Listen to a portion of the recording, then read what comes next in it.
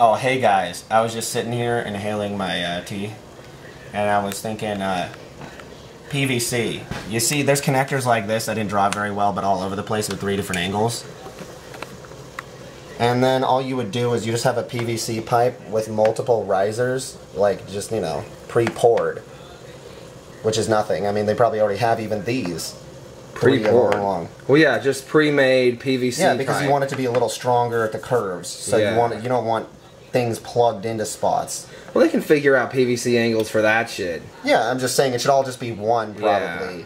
Even if you have to re-angle these a little bit to where they're not straight down, you know, like they're angled at the angle Yeah. of these. Yeah. Well, then you insert PVC into the top part, into this this connector here that's, you know, like extra thick, like double thick walls, so it's, you know, holds.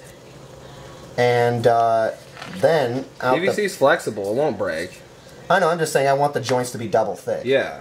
So then up here you see the above head view. Um, those all connect in on either side, like I'm saying, Yeah. either side, and then you can have ones on the side so the tent doesn't just sag in. Like in the middle, you have more PVC connector points to the To sides. either side coming in and locking together from either yeah. side. Yeah. and then you can have even more if you want. well, yeah, because then the tent can attach to those to those PVC points. You know.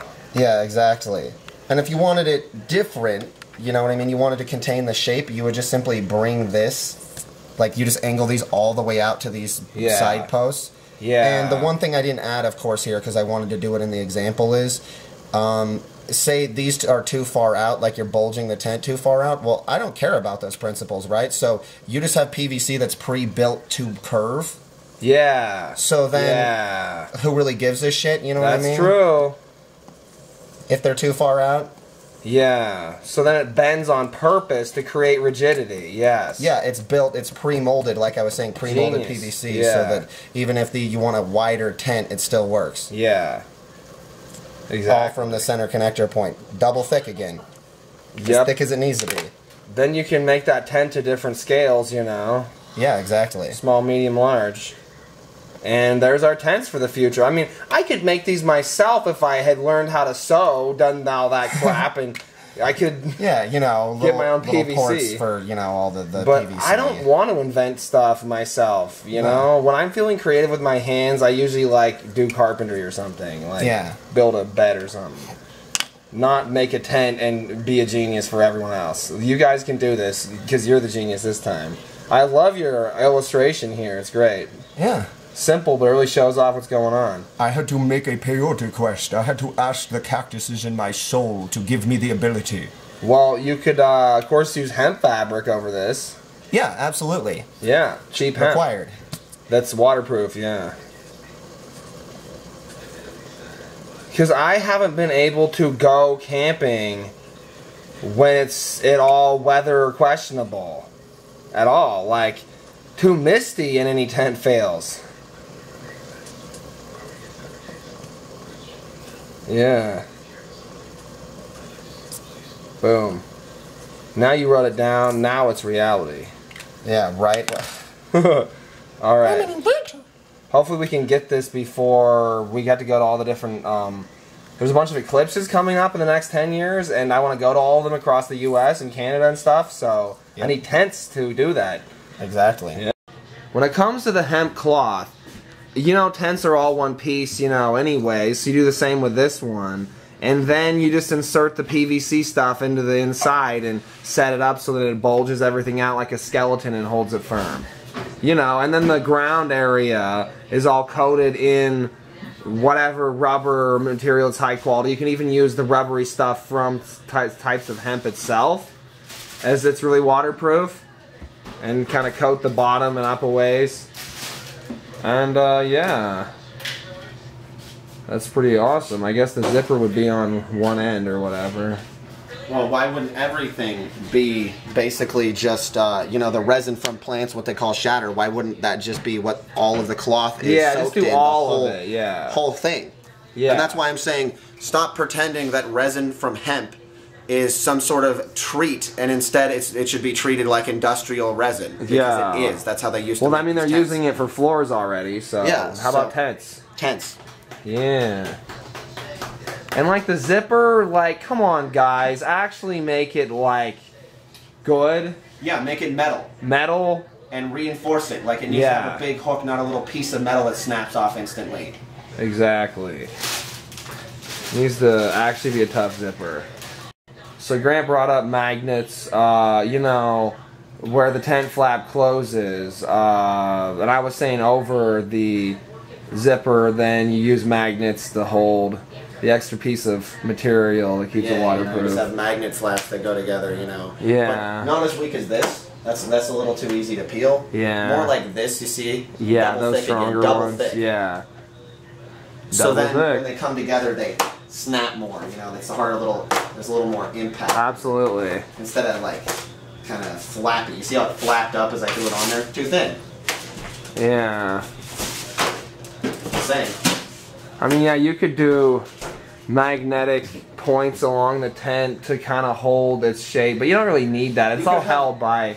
I might as well just say redundancy. So you should probably have a tiny bit of Velcro um, and magnets, just so it's both. Yeah, yeah, I agree. Velcro Like, between same the piece, magnets. But like yeah. further back, there's magnets. Yeah. Even Further closer, the Velcro keeps it closed in front, and the Mm. magnets, you know, like pinch it even further behind and keep it even more closed. That's a good idea. However strong they need to be. And then, uh, let's see, what else? Uh, uh, whatever. Okay, with your tent kit needs to come an auger that screws onto like a metal screwy handle, or not metal, I mean a wooden handle, and then the the auger screws the metal piece like has uh, threading. And goes up in the wooden handles. Then by hand you can screw into the ground and loosen an area that's kind of tight for putting in a tent peg.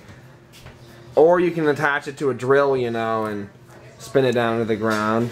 And uh, that, that fixes the problem with tent pegs, I, I hope. It's one solution, somewhat. And, like, why do tent pegs not have, like, claws in them along the length of the metal so that, like, it holds in the ground once you pounded it in? They're all just smooth Oh, you, mean you mean like uh, like with like It's not like I'm the first person to think of this. no, but it needs to return like like Yeah. with, with like you know Yeah. Yeah, actual points that lock into the ground. yeah. Exactly. Boom. Yeah, what I was trying to explain, uh, Grant uh, made me realize I hadn't done it yet. Uh, is yeah, an actual auger that you can spin into the ground and loosen things up, you know, with that handle, yeah, that spins, you know, conveniently. It comes with the tent, so that you can always loosen the soil, even if it's clay or whatever. Yeah, and on top So of that, if you need extra your- reassurance, like I mean, they could recommend this. Yeah. You take like a big river stone, you know what I mean, with a little whatever, and you put it on top Yeah. of your uh, your augered in stake. yeah. Like if it's too soft a soil, Yeah. And on top of that, like you could also. This is like I was just. Well, you wouldn't use the auger if the soil was too soft, obviously. yeah, yeah. Uh, you're good point, but I just need to point that out. But yeah, you can put rocks on top of it. People know that. Yeah, Yeah, big old flat top so you can put rocks on Yeah. You get them flush with the Good soil. point. Yeah. And then the final aspect is I just want to point out to people because it should be included in the guide. If they're stuck, then you just dig them up with a shovel. You know. Yeah. Duh. If they're stuck, use a goddamn. I mean, it could come with a little trench shovel. Those are Yeah. fun. You know. Yeah. I like those. And then there's a useful for digging your poop into the dirt and stuff too. Yeah. Yeah. We got to put a little round handle on it. Oh, okay, yeah. Yeah, it's very important. Yeah, there you go. yeah, now we're legitimate. okay, the center top PVC post, you know, well, you can like have kind of flat hooks that hook onto it the right size that you know hook over it, and then they have hanging strings, you know, that have like baskets that you can throw your camping gear in from the ceiling hanging above you when you're sleeping. Because like other tents sometimes have pockets along the sides or something down by the ground, and that's just annoying. So instead, you can just bring in your stuff and hook it along and hang it from the roof. Like you could even hook in like a smoke pot and like have your herbs, you know, going above your head, you know, while you're making love below them, all sensual. Yeah, because it's hemp. and it Yeah, you could also yeah, easy. and you could also have it set up with a battery pack from there, and you could build into the more expensive version of the tent for an extra five bucks uh, you know, LED lighting, you know? Yeah, along, yeah. the top of the Along bar. the top of your bar, at least. That'd be so cool. In fact, it could be inside of the plastic PVC, and it could be clear, which does not increase the cost. No. Then it's, yeah, glowy, and you can set the mood, you know? Then you know to stay away from people's tents when they're glowing, you know, pink sex, you know, color. Yeah. They're in Except sex mode. So it's thick, so you can't actually see from the outside. Yeah, all you can see is a slight glow, you know, of whatever color they have inside, you know, the light. That's it. And since it's from the roof, there's no shadows really reflecting out of the tent. Yeah. So for like you aren't silhouetted when you're fucking, you know? It's all private leg.